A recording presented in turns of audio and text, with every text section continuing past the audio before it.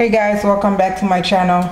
Today I'm gonna be showing you guys how I prepare my Thanksgiving turkey.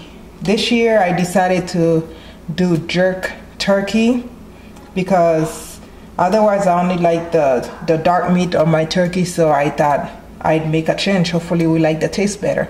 So for this jerk turkey I'm gonna be using Walkerswood um, jerk sauce. And where I live I can only find the hot one. So I'm using that hot one. And for some spices I have some organic thyme and I cut up an onion. So on my bowl here I mix um, about one cup or I start with half a cup but you know up to one cup of the jerk sauce. It de depends on the size of your turkey, I guess. And then on here, I also put two teaspoon of cinnamon and one tablespoon of olive oil. And I put about a quarter of a teaspoon of nutmeg.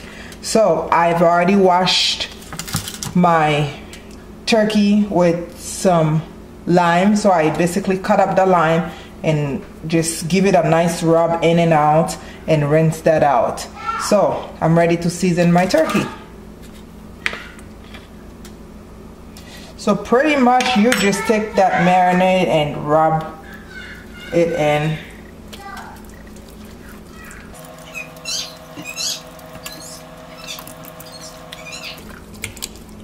And I didn't really any add any salt on here because there's a lot of salt in that um, jerk seasoning.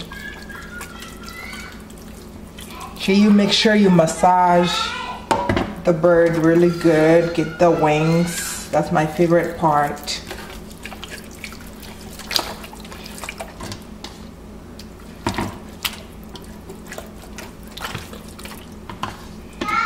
And I like to put some inside that pocket so the breast can get some also. Just stuff it in there and rub it in. like I said, I've been eating the same kind of turkey for years. It kind of gets old, so I just wanted to start to try something new. So as you can see, mine is not enough because I already ran out.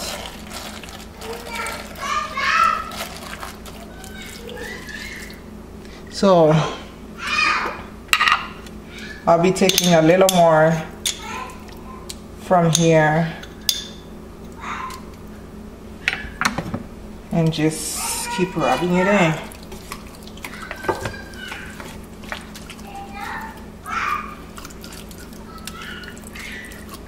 Get under the wings and whatnot. And I reserve the neck here because I like that part. So just kind of rub it in, like I said, keep rubbing. Let me know what you guys are doing for Thanksgiving. Leave a comment below. Let me know what you cook because I know not everybody like turkey. So let me know what you guys cook and hey, post a picture if you want to. Just go ahead and comment below. And guys, don't forget to subscribe and like and comment on my channel. Let me know what else you guys want me to cook for you guys.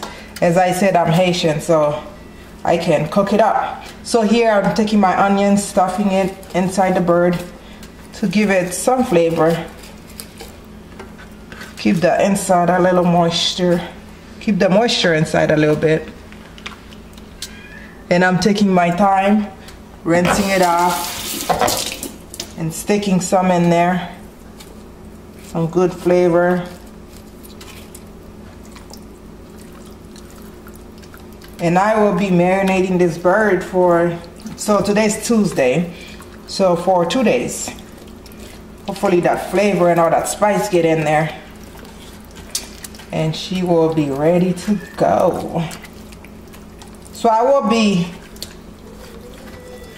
cooking it based on the cooking direction there's a little package that came with it But depending on how much your bird weighs, you go by the instruction. And here's my little instruction card. So yeah, well, I hope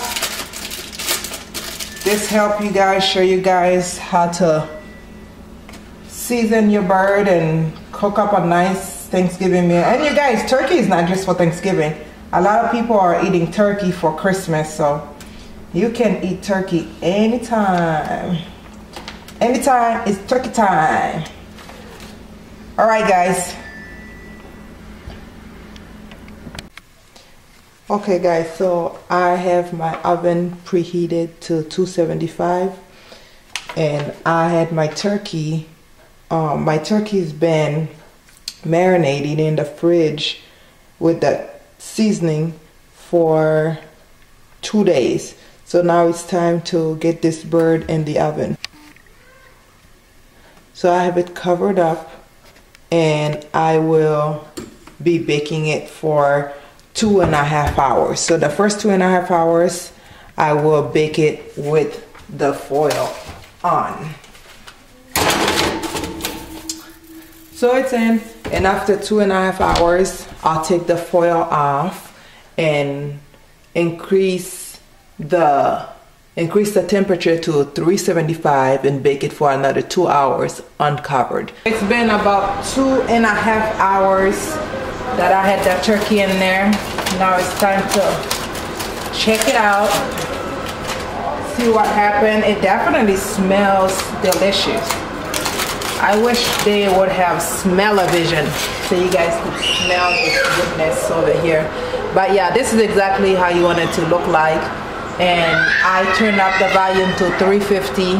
So I'm gonna put it in there for another um, at least hour and a half or two and once it's almost done I'll probably melt some butter and just put it over it so I can get that golden color but yeah so I'll put it back in there for another two hours because I need that turkey to be done and looking delicious. Okay so my turkey is pretty much done. I still have half an hour on the time clock so I had it on for an hour and a half. So now I need my gravy to be thickened a little bit so on this little sauce I just have one tablespoon of flour and um, one tablespoon of soy sauce and a pinch a pinch of um, white sugar. And I have a couple squeeze of applesauce. I just want a thick gravy, so I'm just gonna put it around, kind of mix it up so the gravy can be nice and thick. For you can either put that gravy on top of your mashed potatoes, or if you're making rice, it's great. We're having rice, so I'll put that gravy and just mix it around.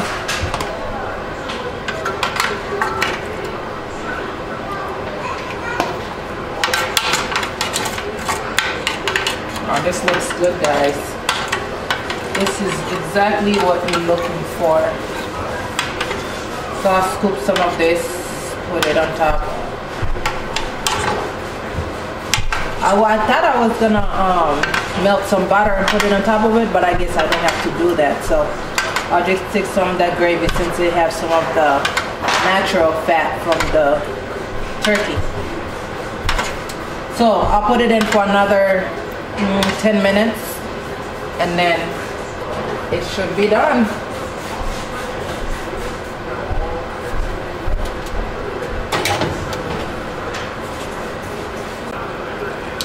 So okay guys, um, my turkey's done. And that soup is just nice and thick, just how we want it. And that golden brown yeah you want that nice thick I mean not too runny and not too thick just perfect for a gravy so yeah so my turkey is done and now I'm gonna take my foil and cover it back up.